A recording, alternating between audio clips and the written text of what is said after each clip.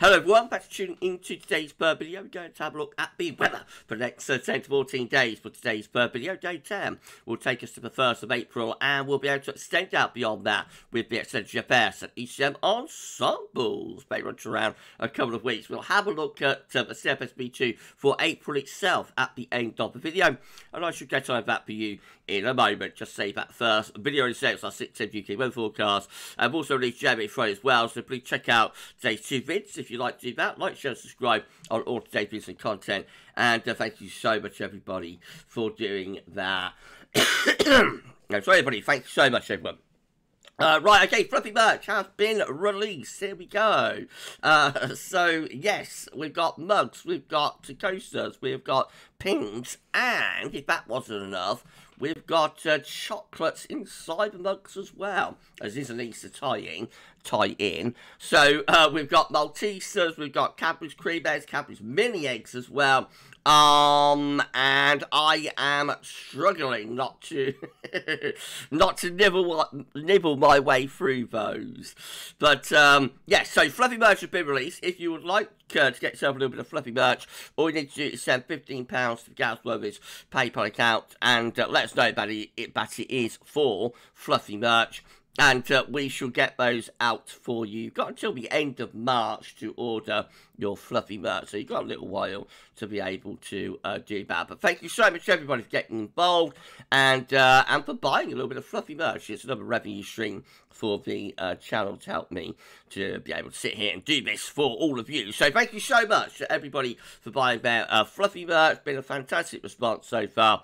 Thank you, thank you, thank you so much to each and every one of you. Thank you so much, and enjoy your fluffy merch, those that have uh, brought it. Again, the link to the GavsWeatherVids PayPal account is in the description with this video, by the way. Right, let's start off with Central England temperature. The CET is uh, currently sitting at 8.2, about 2.5 degrees above 61 to 99 average at provisional to yesterday, to the uh, 21st of March. So a very mild, uh, uh, very mild March, even though we had quite a cold start to the month, but it has turned into uh, a very mild March indeed.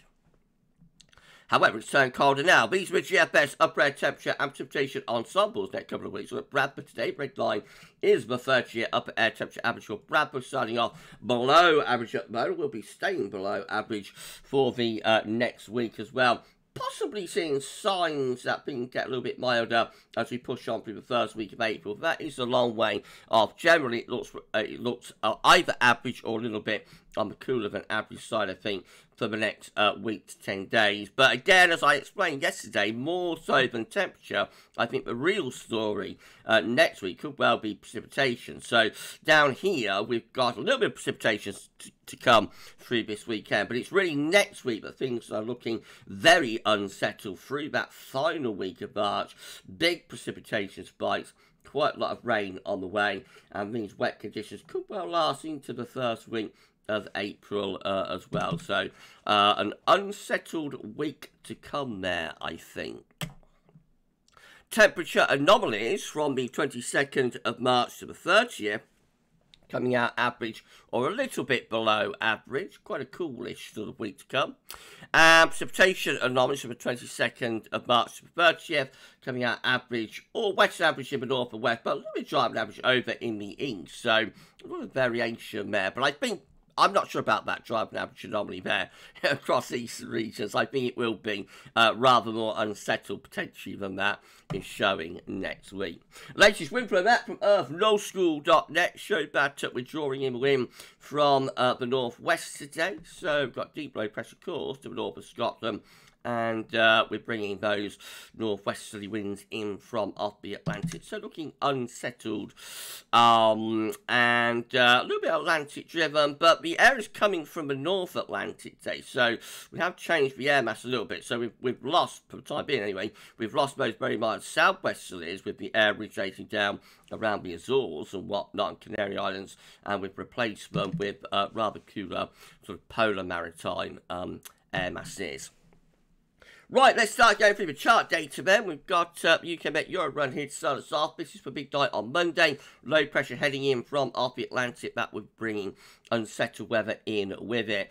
And through next week, low pressure deepens in the Atlantic. We talked about this in yesterday's video. It does look as though we're going to be in for a very unsettled spell through next week with deep low pressure in the Atlantic going down to about 970, 960 millibars potentially and throwing up lots of rain bands into Western Europe as far as we get to with the UK there. Icon again has this uh, trough of low coming in from the Atlantic on Monday and then through next week just turns increasingly unsettled with this deep low out of the Atlantic, bringing lots of wet and uh, windy weather in with it, all the way up to the end of next week. Low pressure anchored and rooted just to west of Ireland, throwing up rain bands, so thoroughly unsettled right way to Easter with the Icon model.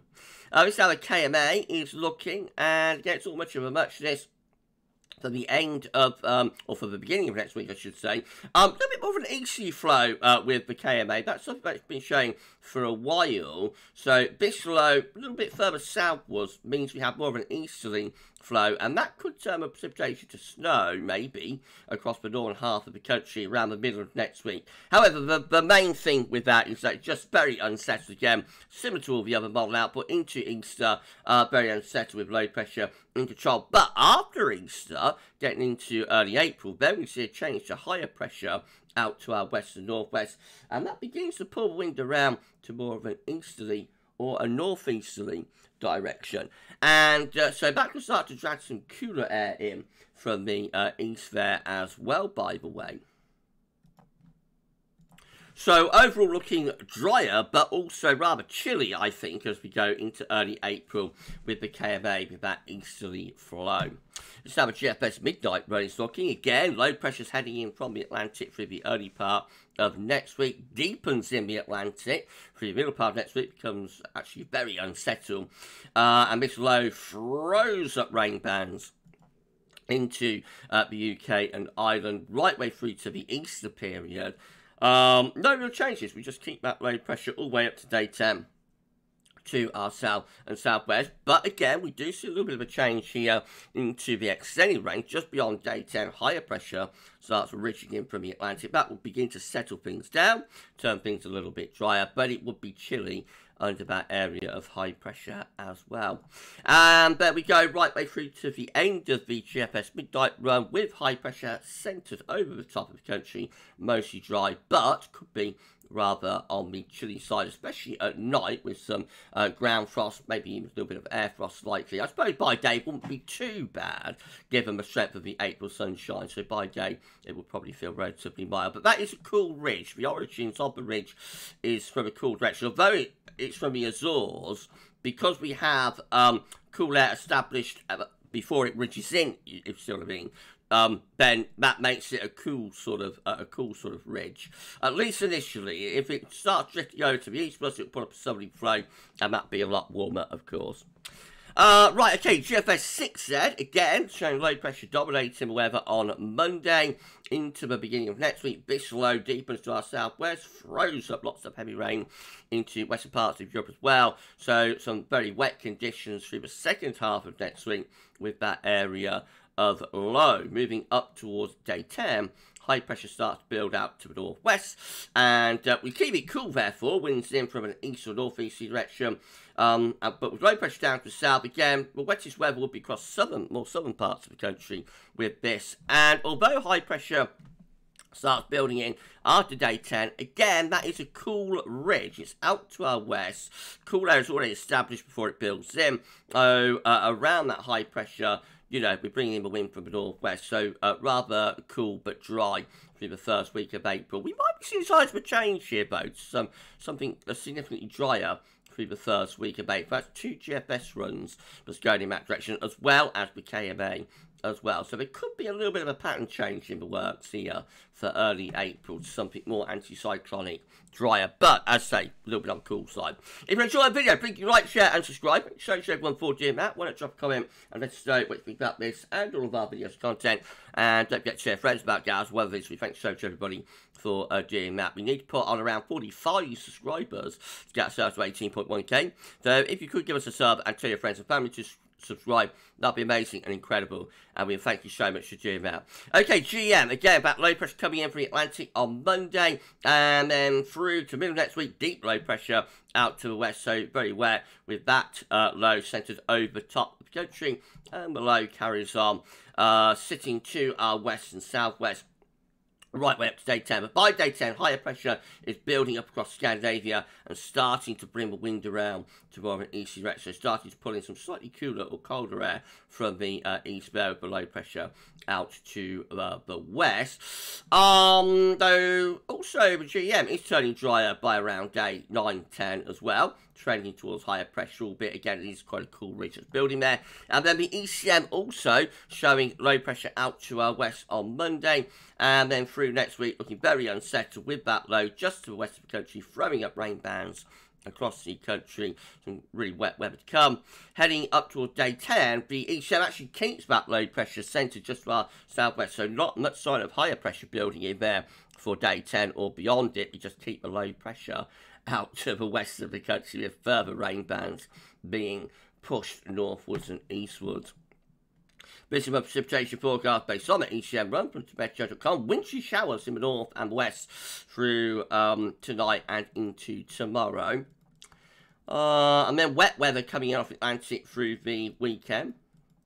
And then into next week, of course, turning increasingly unsettled with rain and a little bit of snow coming in as well. It is quite a cool air mass that we have next week. So not only rain, wintry potential at times. For example, there's a little bit of snow there for the Midlands. That's the 30th of March, so that's Easter Saturday. Wouldn't amount to much, but again, just a suggestion that this is a cold air mass that we have, albeit it is, it is a fundamentally unsettled pattern. And up to day 10, we just keep it unsettled with further rain bands pushing northwards and eastwards across the country. Bear in mind, though, some models are built, particularly with GFS operations, are building up some higher pressure around day 10. These are the October table within the ECM ensemble day 4, day 10 from the Icelandic Met Office gets us to the 1st of April. 40 members of the ECM ensemble, lots of them, with low pressure just to our west at day 10. So looking uh, very unsettled there on the first day of April with those 14.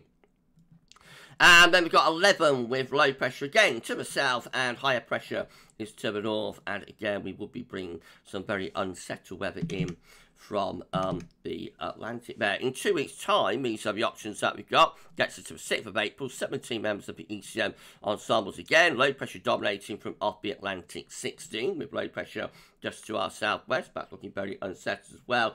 10 with higher pressure reaching from the south away to the north and the west, and then 8 with high pressure centred just to the west northwest of the country. Oh, uh, that would be mostly dry as well. So again, there might be a change here in the works, some higher pressure through the first week of April, but it is a bit of a 50-50 split. We've got 17 there, and we've got 16 there that look quite unsettled, and then 10 and 8, so 18 that are more towards higher pressure. So quite a bit of quite a bit of uncertainty when we get to two weeks out. CFSV2 finally, the uh, this is the 700 millibar height anomaly for April. Today showing higher pressure to the north, low pressure to the south. That will bring the wind in from an easterly direction. Could be a drier month, but might be a little bit on the chilly side with that high pressure way to the north. The temperature anomaly is about average, maybe slightly above. And the precipitation anomaly shows no particular signal. We'll see. Okay, we're done. If you enjoyed the video, please you like, share, and subscribe. Thank you so much everybody for doing that. Why not drop a comment, let us know what you think about this and all of our videos and content. And don't forget to tell friends about Gas Weathers. And thank you so much everybody for uh, doing that. Uh, right, just tell us happening on channel tomorrow. We're going to have 6am UK weather forecast. We're going to have the EC42 day uh, weekend forecast and 10 to 14 day as well. It's going to be busy day on the channel tomorrow. On Sunday, 6am UK weather forecast. We'll have the uh, next summer update and we'll be live at 6 pm. No live tonight, of course, but we will be live at 6 pm on Sunday with the 10 to 14 day. And as it's a Sunday live stream, we will undoubtedly have some long range with that as well. You enjoy the rest of your Friday, and for this video, that's all for now, and thanks for watching.